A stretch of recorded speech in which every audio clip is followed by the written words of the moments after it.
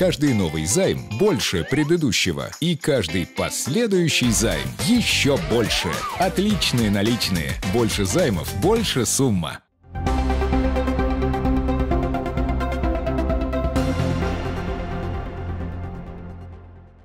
В Кызыле 1 февраля состоялся первый семинар для сотрудников природоохранных организаций республики по обучению основам изучения и охраны краснокнижного снежного барса.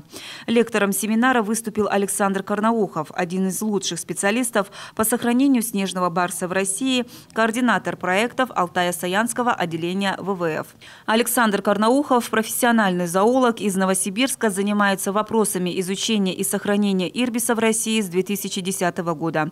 Участники семинара получили знания по основам работы с автоматическими камерами, картирования точек с помощью GPS-навигаторов, нанесения на карту маршрутов и точек установки камер, способом выбора места установки, фото и видеоловушек, а также сбора и анализа материала. Дачная амнистия заканчивается 1 марта. Федеральный закон о внесении изменений в некоторые законодательные акты Российской Федерации по вопросу оформления в упрощенном порядке прав граждан на отдельные объекты недвижимости и имущества, известный как закон о дачной амнистии, за эти годы вносилось немало изменений. Одно из них касается объектов индивидуального жилищного строительства и состоит в том, что поставить на кадастровый учет и зарегистрировать право собственности на них в упрощенном порядке, то есть без получения разрешения на ввод в эксплуатацию можно только до 1 марта. Пока кадастровый учет и регистрация прав проводятся на основании документов на земельный участок и технического плана объекта, подготовленного кадастровым инженером. Для территорий, попадающих под действие дачной амнистии, сроки не установлены. Это касается земельных участков, предоставленных до 30 октября 2001 года для ведения личного подсобного или дачного хозяйства, огородничества и садоводства. Для регистрации права собственности на них них потребуется акт уполномоченного органа о предоставлении гражданина участка или акт о праве гражданина на участок. В эти дни в столице Уфс Аймака Монголии откроется торгово-промышленная выставка-ярмарка, посвященная Белому месяцу. В ней в рамках договоренности Монголии и Тувы по приглашению властей Улангома примет участие делегация из Кызыла. Состоятся встречи с руководством Улангома и предпринимателями Монголии. Будут также обговорены детали проведения дней Уфс Аймака в Кызыле в мае 2018 года.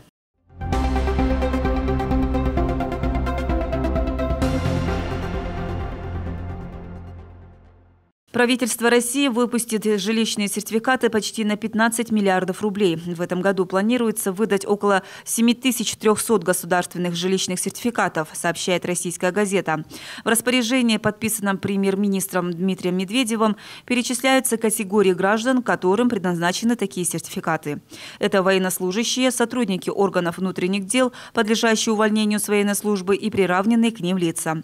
В списке также граждане, выезжающие из районов Крайнего Севера, севера и приравненных к ним местностей. Граждане, подлежащие переселению из закрытых административно-территориальных образований и территорий, ранее входившие в границы закрытых административно-территориальных образований. И курсах валют доллар стоит 56 рублей 26 копеек, евро 69 рублей 79 копеек.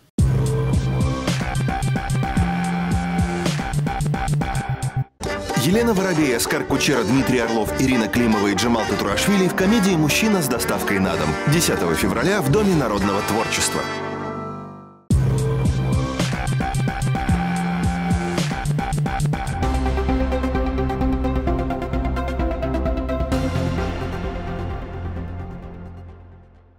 Рособорнадзор сегодня провел новую широкомасштабную апробацию проведения ЕГЭ с применением технологии печати полного комплекта экзаменационных материалов в пунктах проведения экзаменов и перевода бланков ответов участников в электронный вид. Апробация прошла в 83 субъектах России. Отмечается, что в 2018 году практически все экзаменационные пункты должны перейти на технологии печати материалов для участников ЕГЭ прямо в аудиториях. При этом будут печататься не только контрольные измерения, измерительные материалы, а полный комплект экзаменационных заданий для участников ЕГЭ, включая бланки. Это позволит еще больше повысить информационную безопасность ЕГЭ, сократить возможность влияния человеческого фактора, сэкономить средства на доставку экзаменационных заданий на места, снизит нагрузку на организаторов экзаменов. Печать полного комплекта для одного участника ЕГЭ займет от 20 до 30 секунд. В среднем печать полных комплектов в аудитории из 15 человек будет занимать от 10 до 12 минут.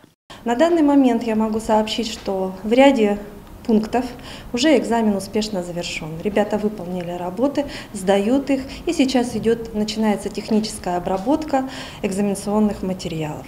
К 10 февраля каждый участник апробации получит результат.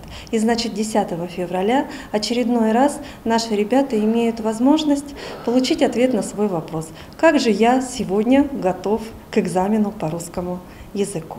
Помимо того, что представлена возможность ребятам выполнить экзаменационные материалы, происходит, э, проходит тренировка э, работы организаторов, руководителей пунктов и технических специалистов.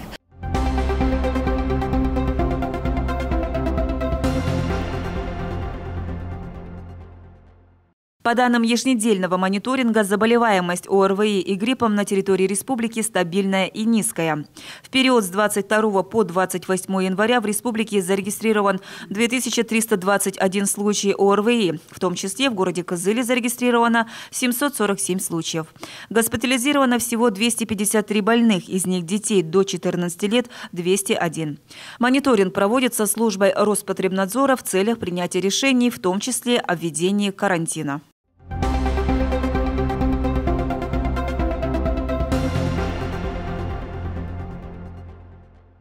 Честь большой даты 75-летия победы в Сталинградской битве, благодаря которой начался коренной перелом в ходе Великой Отечественной войны, сегодня в Национальном музее Тувы открылась выставка по горячим следам Сталинграда из фондов Музея Победы. Выставка – это первое совместное мероприятие со столичным музеем. Напомним, что Национальный музей республики поддержал инициативу Центрального музея Великой Отечественной войны или Музея Победы о создании представительств в регионах России, в том числе и в Туве. Это станет большим подспорьем в организации совместных мероприятий по военно-патриотическому воспитанию подрастающего поколения. На выставке мы видим мирный Сталинград в 1941 году. Затем значит, мы видим самые первые трагические дни Э, значит, которые были очень тяжелыми для нашей Красной Армии. Затем показаны значит, знаменитые значит, боевые операции значит, и, конечно, успехи наших советских солдат.